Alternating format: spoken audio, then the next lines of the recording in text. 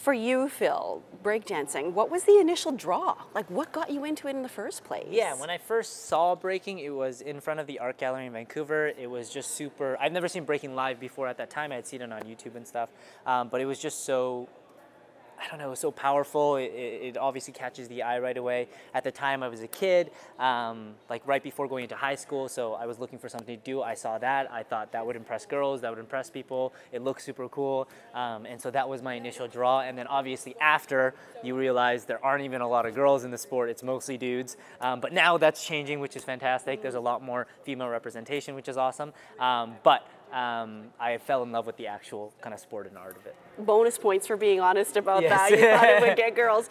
Um, to be good, I guess, to, to go beyond sort of recreational mm. and kind of do it with your friends and that kind of stuff. What was the, the, do you remember the change for you where you were like, okay, this is my passion and this is the thing I really want to put all my yeah, effort into. I don't think it was like a moment. I think it was just a gradual, like I started just falling in love with it. It was like a relationship. Like I started falling in love with it like slowly but surely. First it was very difficult. I think that's the one thing with breaking. It draws a certain type of individual because you have to be kind of committed from the beginning because right from the beginning it's actually quite challenging to learn. It's very physically difficult. And so, but I fell in love with that challenge right away. Um, and then falling in love with not just the athletic part, but the artistry of it. And then the traveling, the community, the people I got to meet. I've made some of my closest friends through it. Um, I've got to travel the world. And so every step I was like falling more in love with it. And it just kind of became obsessed and still am obsessed. I still have the same love for it that I did on day one, um, if not more now.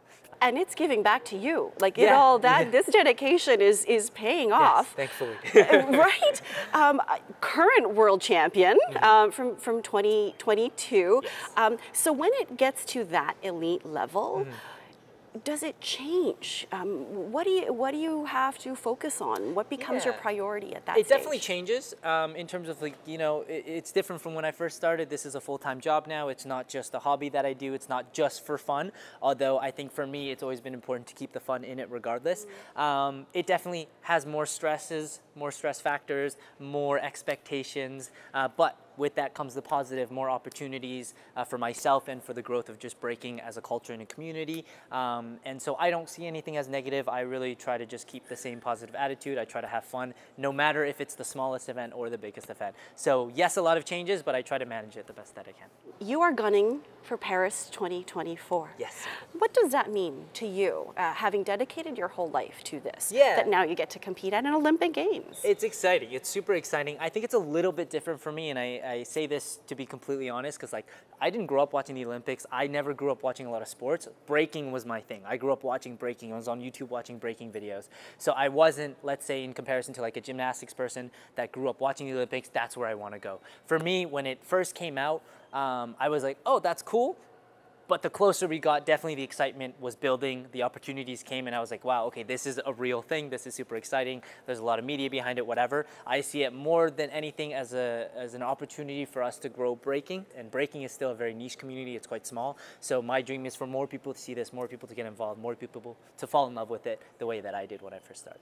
Canadian, you are a gold medal favorite. Mm. Um, I know we have to talk about qualifying and all of that, but you know we're going to make the assumption you'll get to the games. Mm and you'll have a lot of expectation perhaps on you.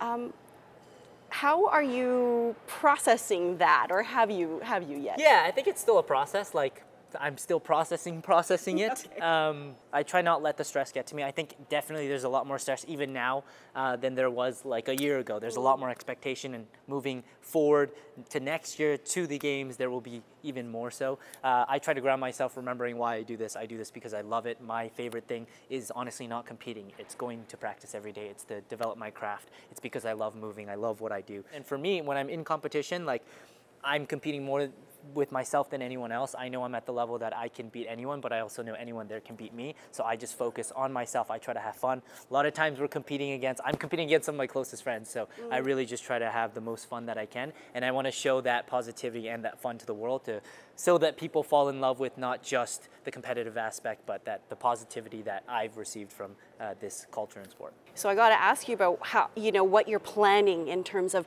what you will do at the games and how you will compete. Are you working on something new or are you relying on the tried and true things that have got you to where you are today? So for my myself and my approach, I'm always trying to create something new. I'm obsessed with the art artistry of trying to create something new all the time. My motto has always been stay ready so you don't have to get ready. Mm. I train the most that I can all the time because that's what I just love to do. So I will continue to do that to the Olympics. It's made me it's gotten me this far, so hopefully it'll take me through the games, maybe on the podium, hopefully gold medal, but we'll see.